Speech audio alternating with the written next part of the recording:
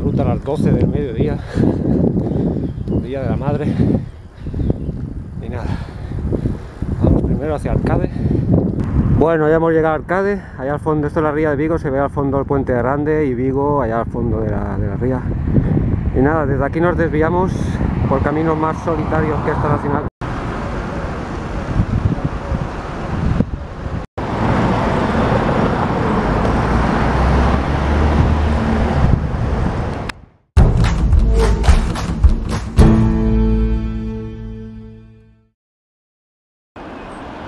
Mirad qué espectáculo, eh, qué sitio. Ya he salido de arcade, menos mal. Menuda locura de coches para arriba y para abajo, pero claro, es la una de mediodía, entonces. Mirad cómo está situado eh, en la ladera de esa aldea, tú. Y ahora voy a hacer embalse de iras. Embalse de iras.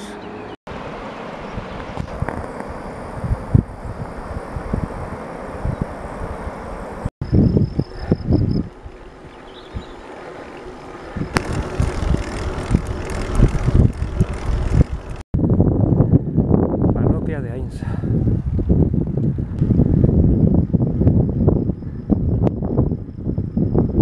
Y bueno, aquí Ahora sí que esto es súper solitario. Eh, saliendo de Arcade, a medida que te vas alejando de Arcade, que es el pueblo de las ostras, famoso por sus ostras, pues hay mucho tráfico en Arcade cuando sales y cuando te vas alejando y tal, y ya te adentras por estos parajes, ya apenas hay gente. Ahora estoy aquí solo, llevo un rato aquí parado viendo el paisaje y ni un coche, nadie, todo en silencio.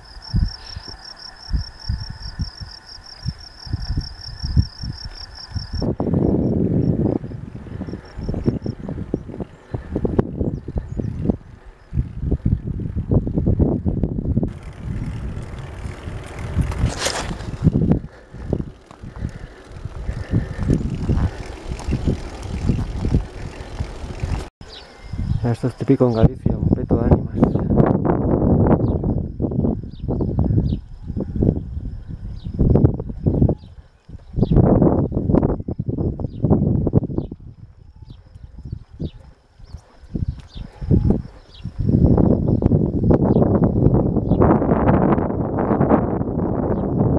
Y nada, vamos al embalse de Iras, por ahí. Bueno, ya estamos en el embalse de Iras.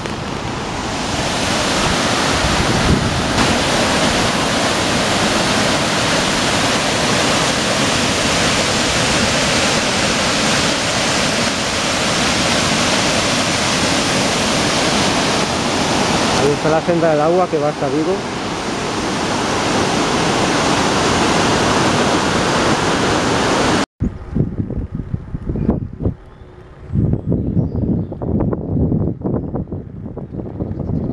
Bueno, pues ahí está el sitio don- donde voy hoy. Y digo, seguro que habrá gente. Y efectivamente, mirad, aquí han dejado coches aparcaditos justo enfrente. Vamos, que no voy a estar solo, pero bueno, es lo que hay. En la pandemia la gente no se puede mover y, se agolpan todos. En fin, no quiero hablar más del asunto. Voy para allá. Es una ruta de sende- senderismo, pero vais a ver un sitio... Vamos, el sitio este ya lo documenté yo en la revista Pazos de Galicia, hace, muchos, hace varios años.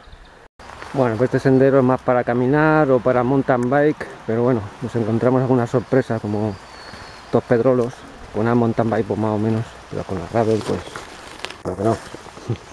Como veis, esto está un poco selvático.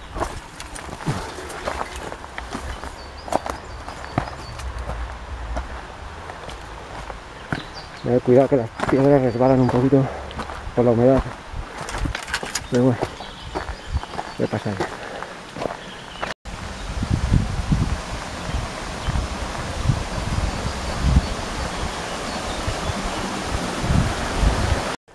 Por otra parte ahora con tanto agobio de gente por todos lados, pues están apresurando en arreglar muchos sitios que antes estaban como abandonados. Los están restaurando. Ahora están con este camino, ¿veis? Que han cortado por aquí para que no pase gente en bici. por motivos de seguridad, este tramo solo se puede recorrer a pie.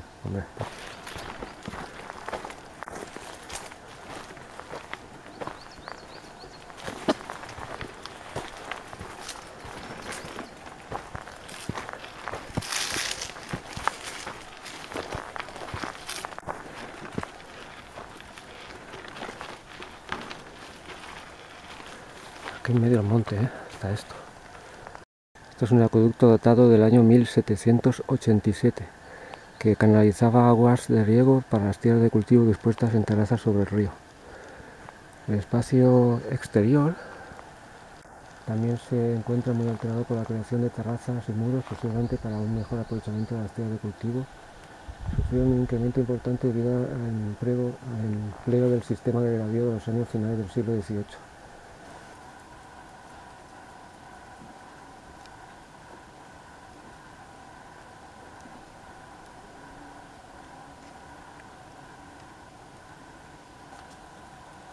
Podemos observar el resto de murallas de un castro de la edad de bronce. Aquí y ahí. Y aquí estas viejas casas pequeñitas que dicen que igual podría ser para el ganado. De hecho son muy pequeñas. los tejados, no sé, como no fuera para...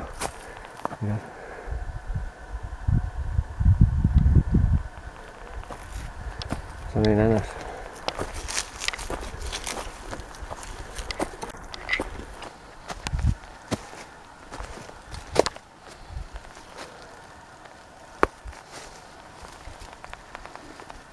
Igual no, igual la gente entraba así.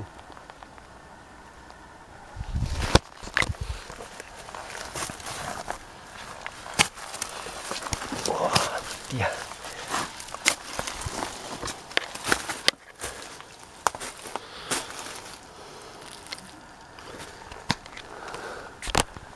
Ahí el pico del tejado.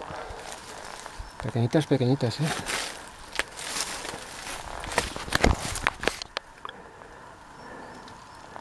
Entrada. Mirar el tiempo tú. Si tiene tiempo este como ha crecido este árbol ¿eh? aquí en el muro tú.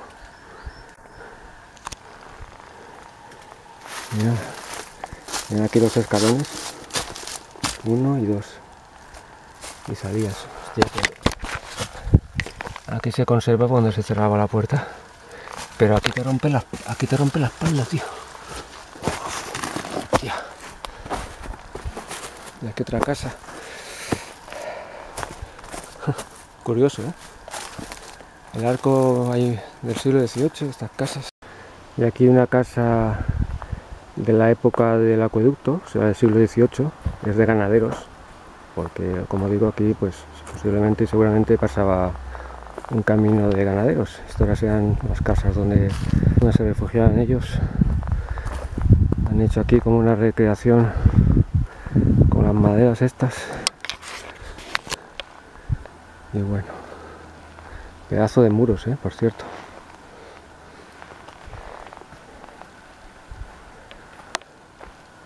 Pura piedra todo. Aquí...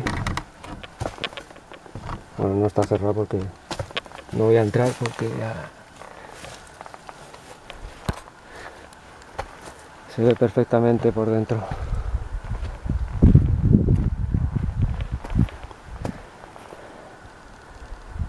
bueno, un espacio pues para hacer un fueguecillo y para descansar. Y nada, si seguimos el camino, pues encontramos más casas a la ladera izquierda. Otra casa. Esta a la derecha y otra ahí también. El sendero está marcado con estos colores. Y esto está lleno de senderos por todas partes. No estoy siguiendo ahora el marcaje ese, tiene escalón. No sé si subir aquí, esta pequeña colina. Vamos a ver. ahí parte del embalse de Idas. Bueno, por aquí sigue y por aquí hay gente. Madre.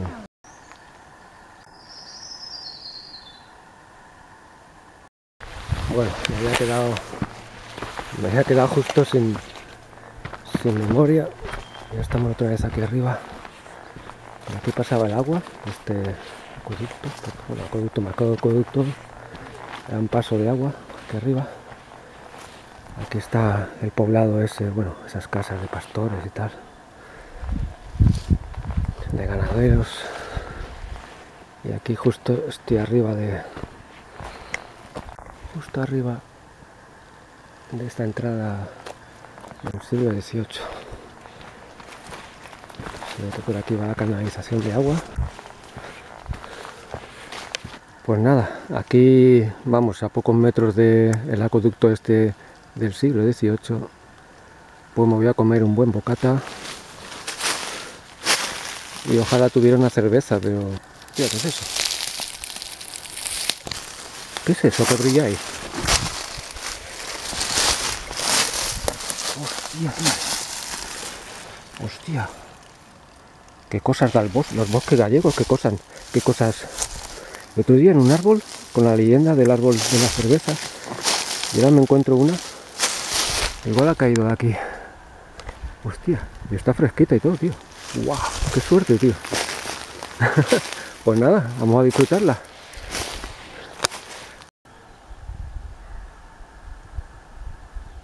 Escucho un sonido por ahí, pero creo que no. No. No es humano el sonido.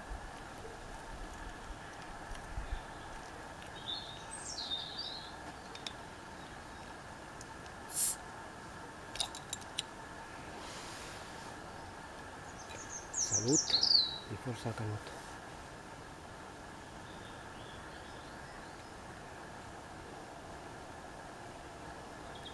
Uau.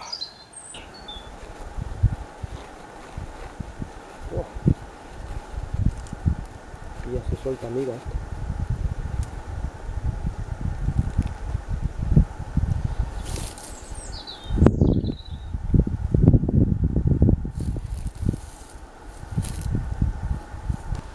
pasando por Arcade. Esto para arriba hasta aquí. Ya me queda otro petadón hasta llegar a Ponte Calderas y luego para abajo a Pontevedra. Sabéis que a mí me gusta el pan tostado, siempre lo pido lo más tostado posible, hombre no quemado, pero tostado y crujiente me gusta a mí. Y siempre la panadera me, lo- me reserva uno ahí bien tostadito. Mm. Solecillo, ay que bien se está el sol.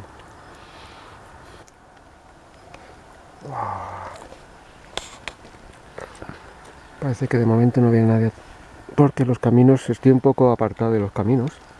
Que ya digo que el acueducto está para allá, ¿eh? Ahí al lado.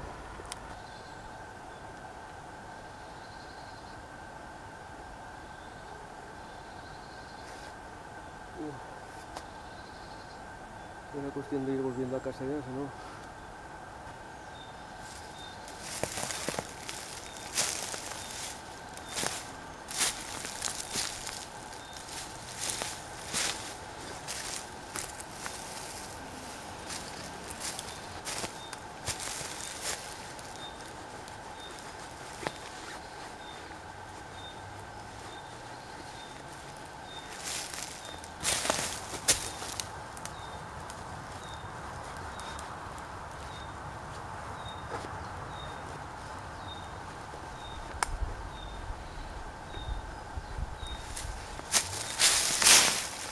Y no hago propaganda ni nada, ¿eh? que esto me lo compré con mi dinero hace un par de años.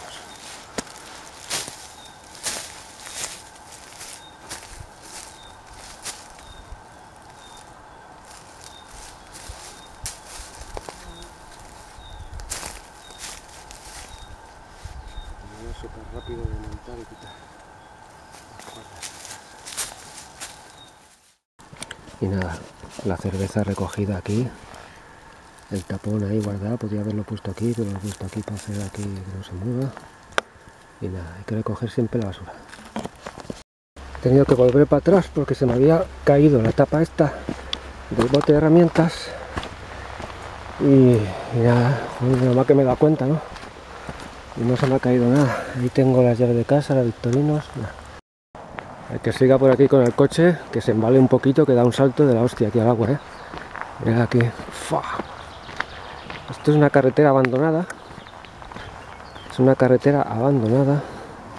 Y la carretera seguía por aquí, pero el embalse se tragó todo. Aquí estamos en Forneros de Montes. Y nada, voy a conectar con Ponte Calderas.